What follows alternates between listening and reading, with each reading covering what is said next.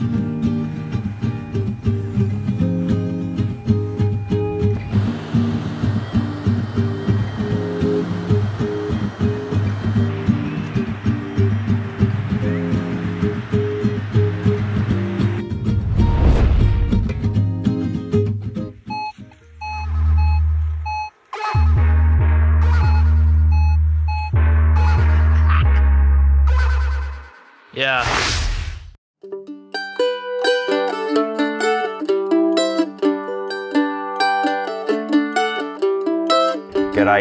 folks, I'm the Coffee Bush Kid in Central Vic.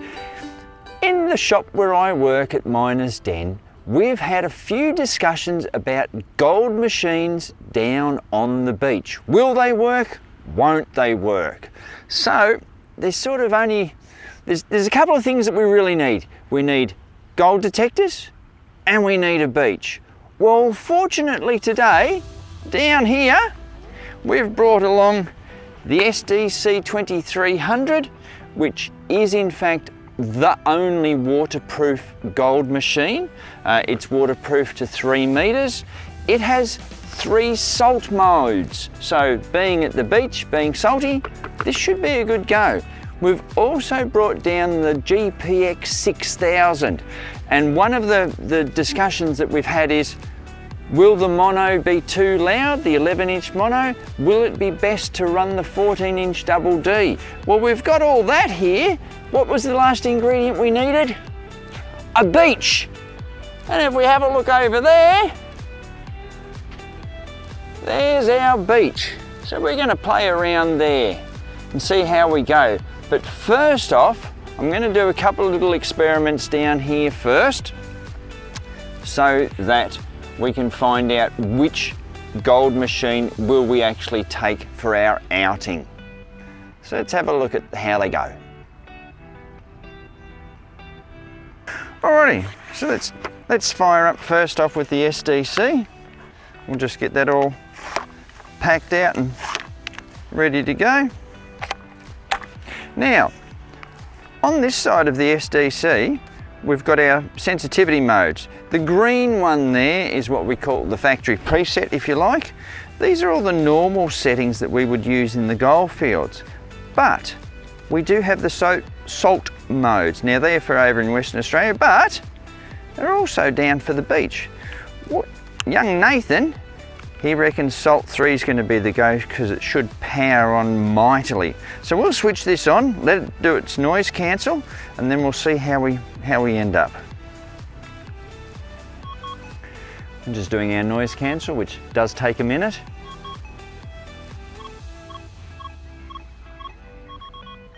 Rightio. We are set to go. All we need to do now is just our noise, our ground balance,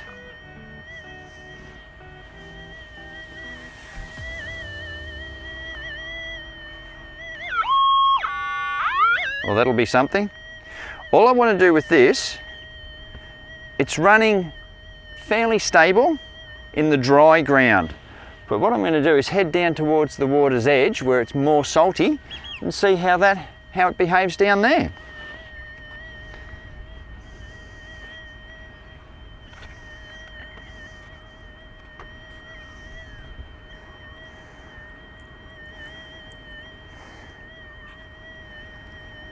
So realistically, right down in the wet sand, if you ran over a signal, of which, there's one there, you're gonna find that. So we're gonna be fine for doing that. I don't think it's too bad. It's not a bad option to use. We might have a go at the 6000 and see how that pans out as well. I'm gonna fire up the uh, 6000 now. So hopefully we're not too close to too much EMI. And we'll see how we go. We're starting off on the dry first.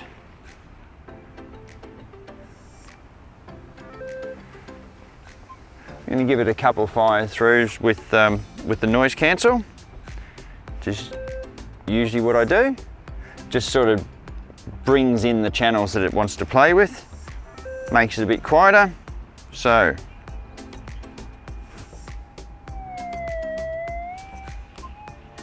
Just ground balancing it now.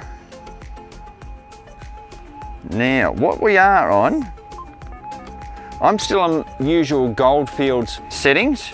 So I'm manual sensitivity one, uh, switch that off, and I'm in difficult.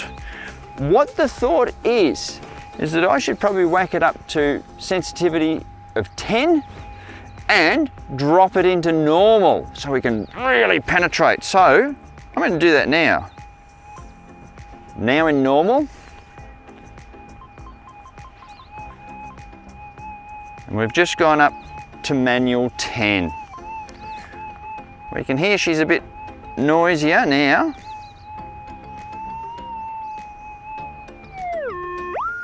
That was the coil. What I'm going to do is the same as before. I'm going to walk down towards the water edge and see if it gets louder again.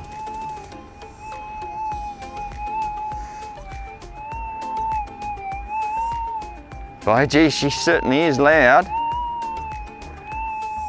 At this point, what I would even do is drop it back to difficult. But nah, every swing.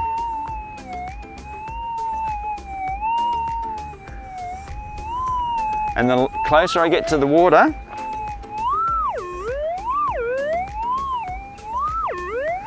though I will mark that signal, the closer we get to the, the water,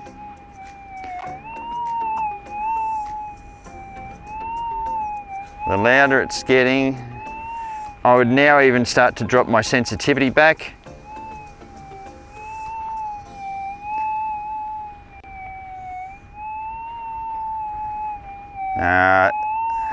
Unless you ran over an absolute screamer,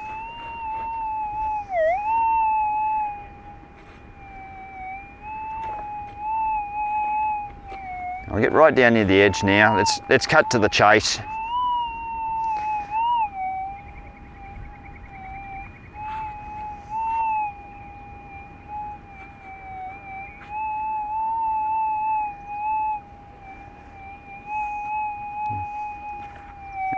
Uh, that, that would be hard to listen to all day.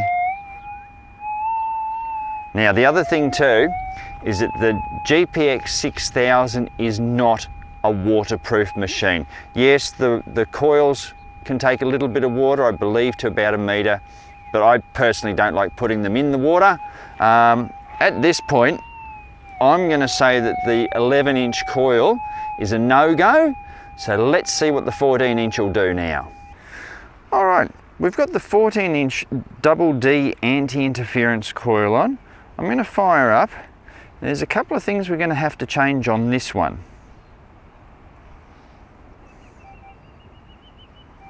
We're doing noise cancel, so we'll do that again.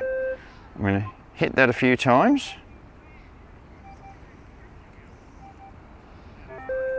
And another one for good luck.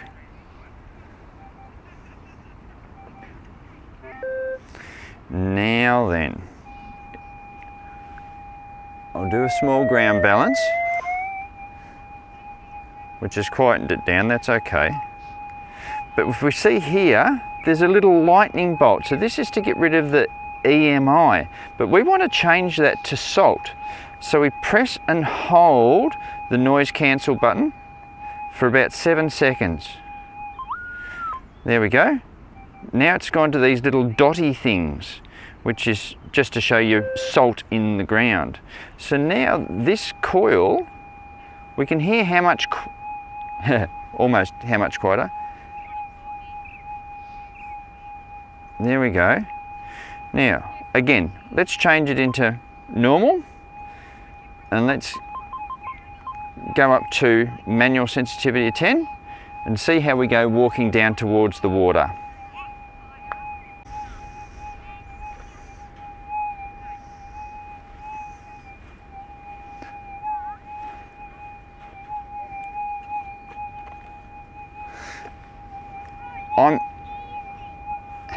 enough to say that it's quieter than the um, than what the 11 inch coil was. We haven't got that woo woo from each side.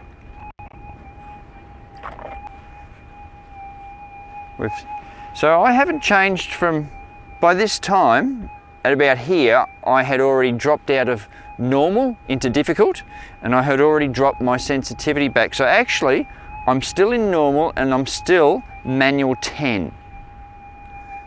If it's a little bit chatty, what I might do, let's drop it back to about five.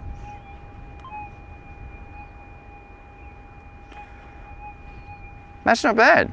And we are heading down towards the, the salty area now. So I'm not really chasing targets. I just want to hear how quiet it is. Now by this stage with the 11 inch coil, the mono, we weren't having fun.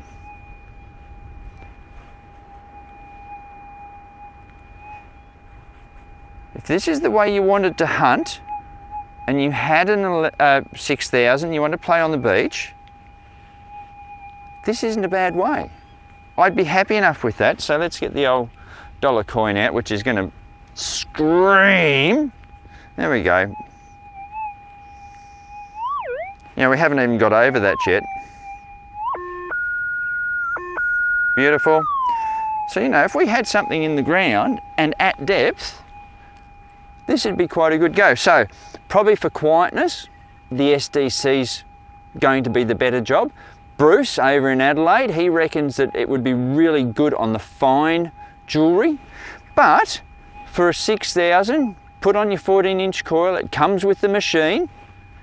It's a lot quieter, we can handle it. So the poor old 11 inch mono that you'd use in the gold fields and that doesn't really like the beach. So we've at least gone, I wouldn't use an 11, I would definitely use this. As we said, I'm at five sensitivity now, I'm in normal, probably a good thing. Be interesting to see how it goes out on the beach. Anyway, I'll make a call as to which detector I'm going to use and we'll see what we find.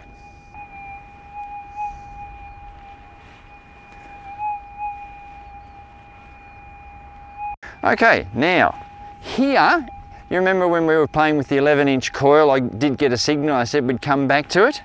Well, it's here, where that is.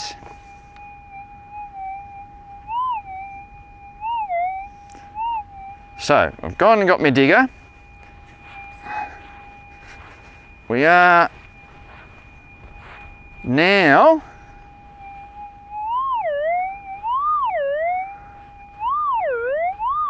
That sounds all right, that's a signal. What I'll do, Yeo trusty pinpointer. So that's good, can't pick it up with that which is really nice because this will punch deeper than the SDC. So now,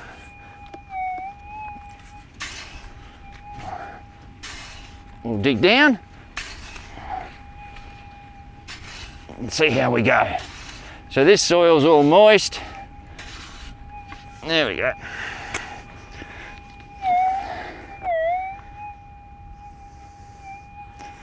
Oh, we are out.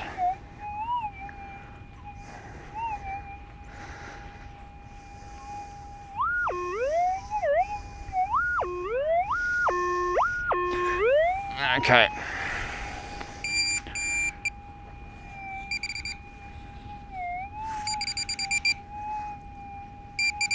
Are we going to call sinker?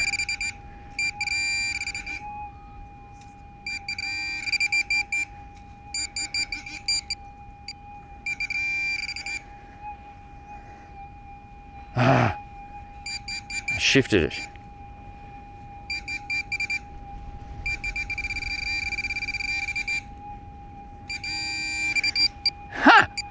Look, that's, there we go.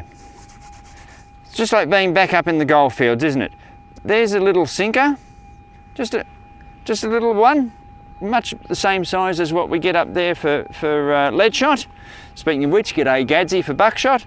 But that, you know, that's potentially six inches down for a target like that. Not exactly what we want, but it worked all right. Certainly said, yep, here it is, dig me. Let's hope we can find something. Ooh, maybe golden round.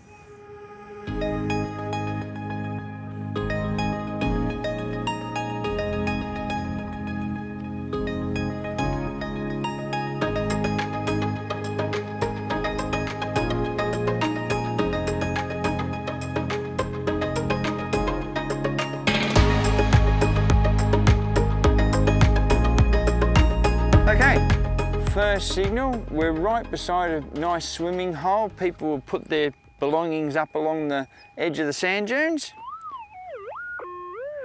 And I got that. Now I've already moved it with my boot. So, seems to be some more there as well. Anyway, I'm not holding too much hope.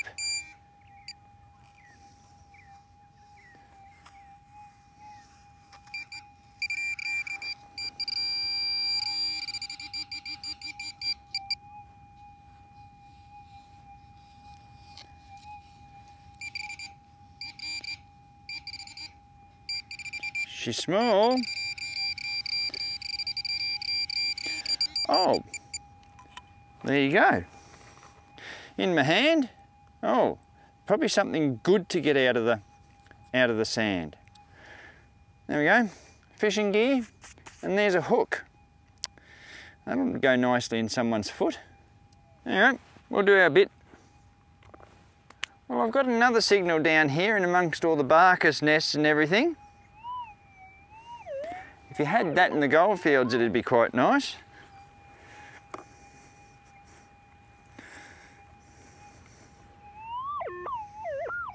Still down in there.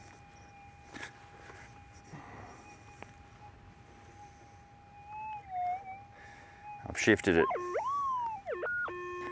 So that's not a bad thing. Okay. I'll just come in with the pinpointer. Ah, there we go. These fishermen dropping all their hooks. And they're all brand new hooks too. I reckon they might go into our tackle box. Well, I've got a signal down here and I can tell you right now, we've struck gold. Just the wrong type, that's all. Well, there's a makeshift field right here. Here's the grandstand and we got ourselves a signal. I would half reckon it's going to be a bottle top. But I'd be quite happy to be proven wrong if it was a gold ring.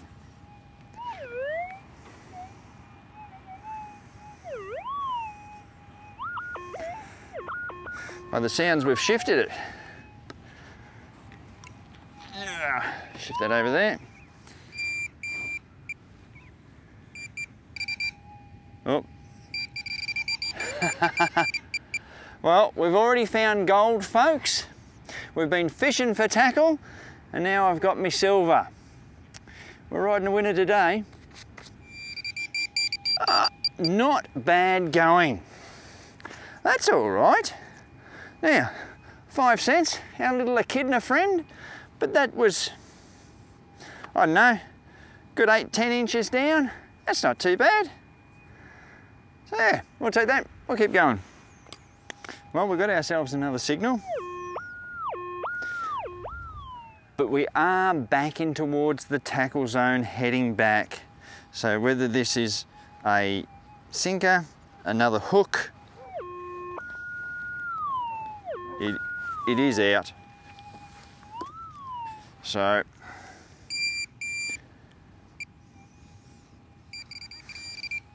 yep, look at this. There we go, I've got fishing line and there's our sinker. So, another piece of lead. If I'm not cleaning up lead out of the buddy gold fields, I'm doing it down on the beach. But anyway, Lee Climber, there's one for you.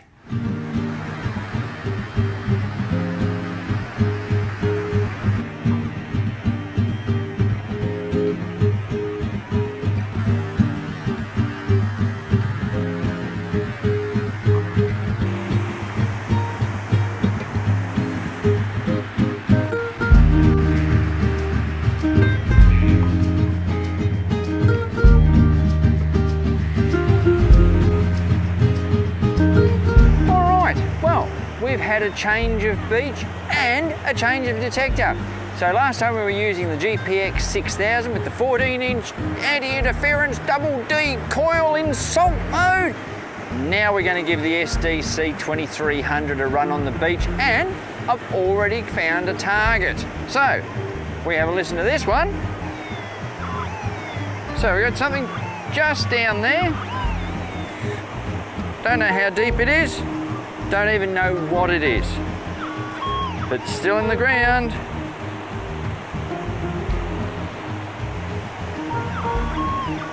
Now this is all good. Ugh.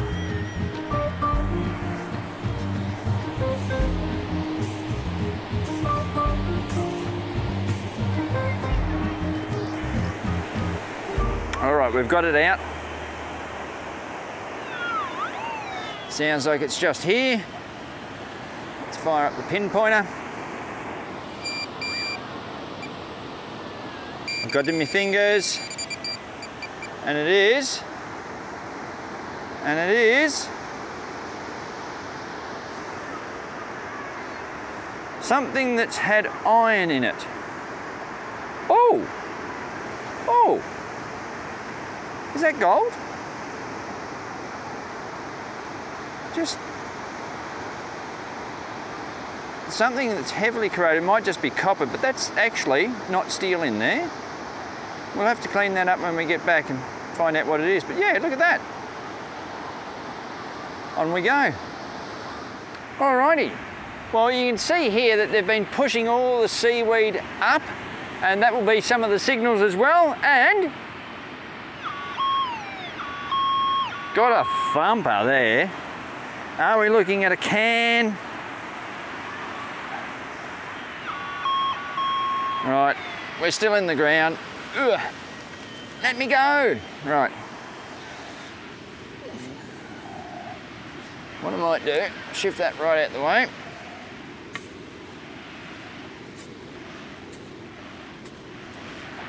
Yep. Hey. Have we got a signal or what, hey? Alrighty.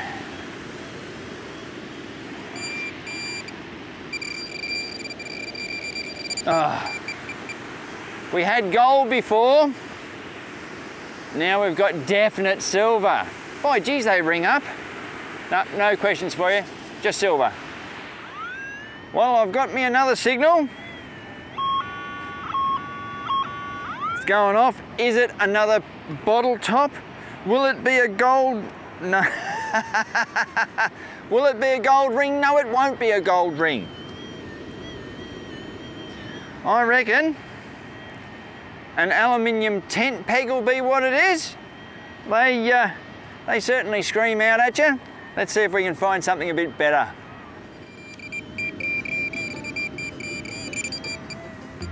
You're joking me. Hairpin of all the things. There you go, another one off the beach. Supposedly it's in my hand.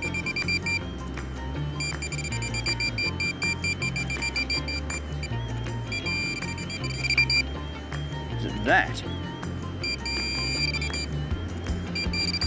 Bloody hell. Now, that, whatever that is, it's not heavy enough for lead, but it's obviously something. But certainly wanted to make a signal about it. Anyway, let's see if we can find something else. Well, you were right. Biff said to me, one of these signals has to be a ring. Well, she was right, technically, but it's a washer. Ring thing nonetheless, but there we are. Whoa, you don't get much better gold than that with the beach. Look at that, it's nearly a nugget. Not quite the one we're after. Well, there we go, folks. The trial as to whether you can use a gold machine on the beach, and the answer is yes. The SDC, that worked really well because of its salt modes. I had no issues with that at all. Uh, the GPX 6000 with the 14 inch double D coil was the way to go. We could play in normal. I had five sensitivity. Look, I found stuff with both of them. Uh, I did get money with the 6000. I didn't get, oh, we got that gold nugget of, of foil with the uh, SDC. But look, we had a good time. So if you're traveling around Australia, and you have a gold machine and you come near the beach, don't be afraid to use it. Just with the 6000s, don't get them in the water. So there we have it. We've worked on the theories and we've proven what we can and can't do. So keep in mind, always good to fill in some of your day detecting, but remember to fill in all your holes when you're finished. I'll catch you next time.